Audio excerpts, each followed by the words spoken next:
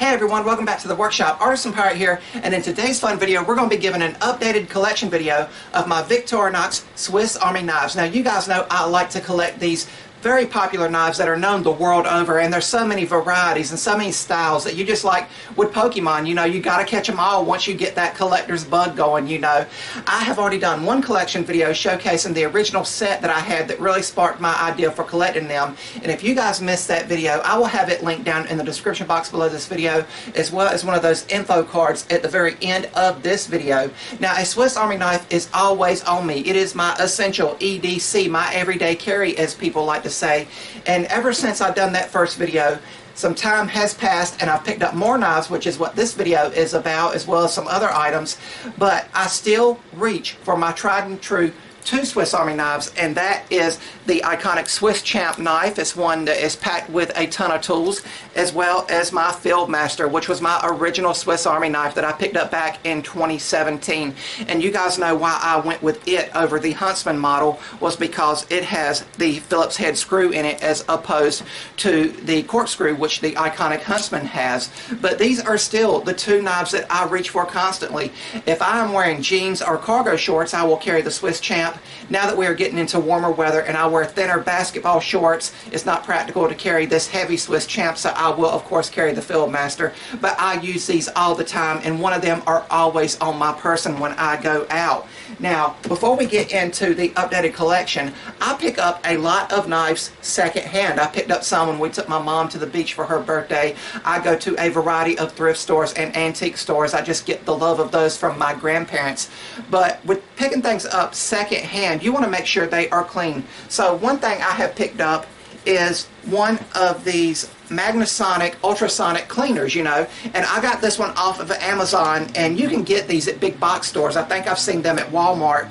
But the thing is, those will only take one kind of solution. The reason I went with this one, and you can see it's big enough to hold a lot of jewelry and even a lot of the knives if you want to clean multiples. The reason I went with this one is because you can use basic dish soap in this one as well as the ultrasonic cleaner solution that you can purchase.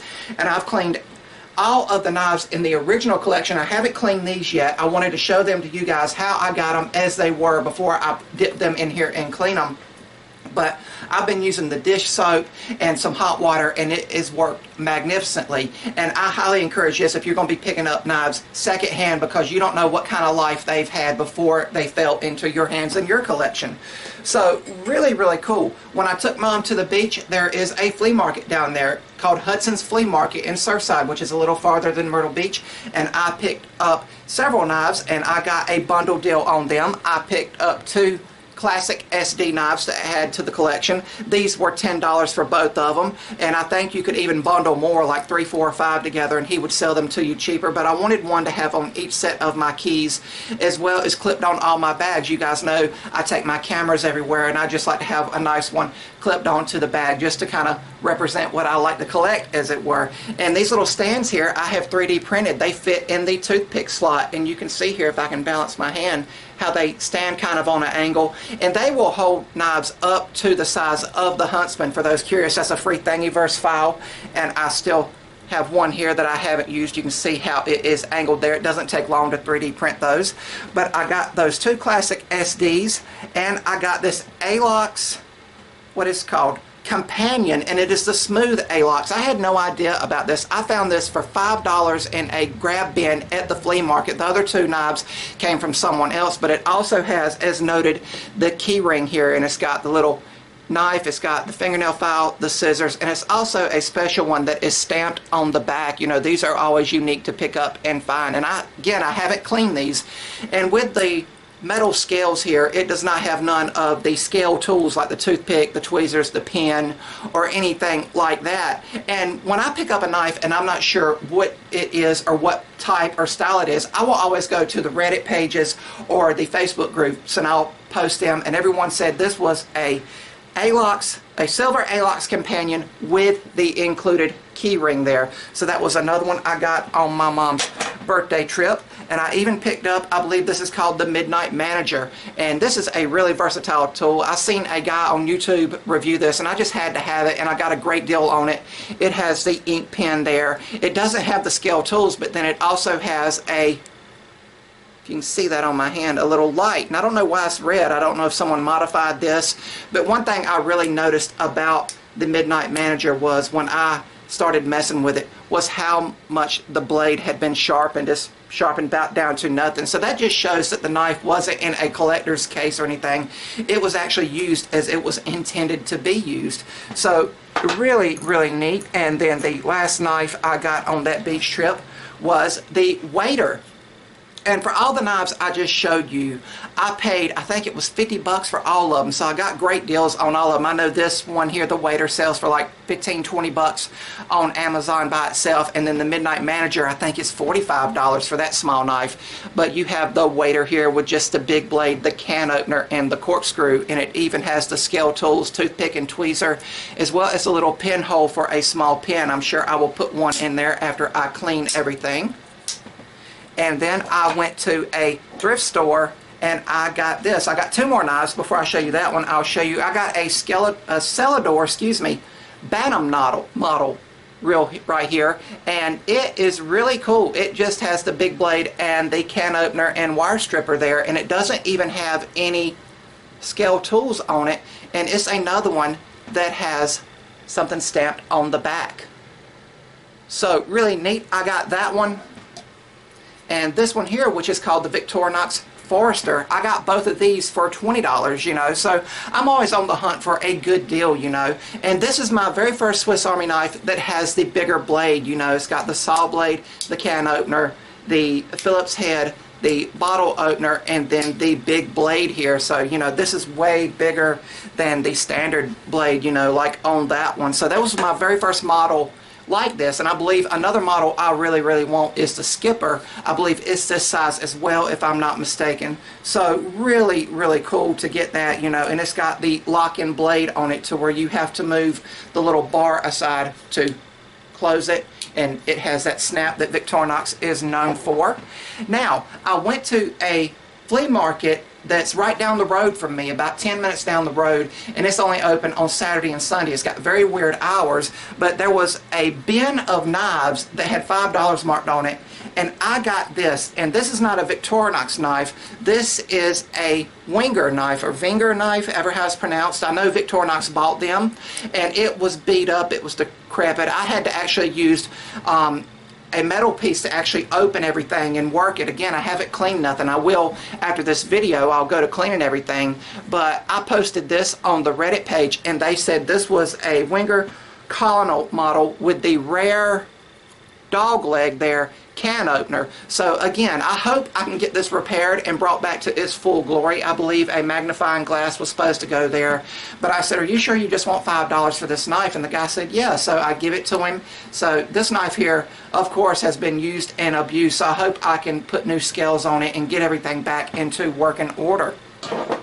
Something else I got, and now you guys know people send me stuff. Now, the next two knives and the final two knives I'm going to show you before I wrap up the video were sent to me. One of them did not want to be mentioned, and I understand that. They wanted to remain anonymous. Well, actually, both people did, so I'm going to respect that. Just know that I truly appreciate it. I know they watch my videos, and I'm sure when they see the thumbnail for this video and they see these knives laying there, they're going to watch it out of curiosity. But I am going to respect how they feel about everything but uh, one of the knives that came in the mail was this one here and this is a Victorinox Ranger. So really really cool when it's brand new nice and shiny. Of course it's got a little bit of sawdust from sitting on the table saw. And what I really love about this model here is it is a smaller model that has the file on it. I use the file on my Swiss Champ all the time to file my nails or sand the edge of something real quickly, you know. So I'm happy to now have in the collection a knife that has the file that's not as bulky as the Swiss Champ. You can see it's just about the same size as the Huntsman or the Fieldmaster. So I can see this going into my rotation for everyday carries, you know, along with the Fieldmaster and the Swiss Champ. And then the final knife I want to show you, when my buddy came down from out of state, he came a long way last October, and he actually gave this knife to me right after I posted the other video of my collection. So I've been very eager to show this knife to you. And check this out. It is still in the original box here. You know, it's got that nice burgundy color. It slides out just like that. And also, it's got the original, before I show you the knife, it's got the original guide in it. So that's real cool and it's not beat up or anything. It was what I call new old stock. So it's got all the stuff, how to use it, how to care for it and everything like that.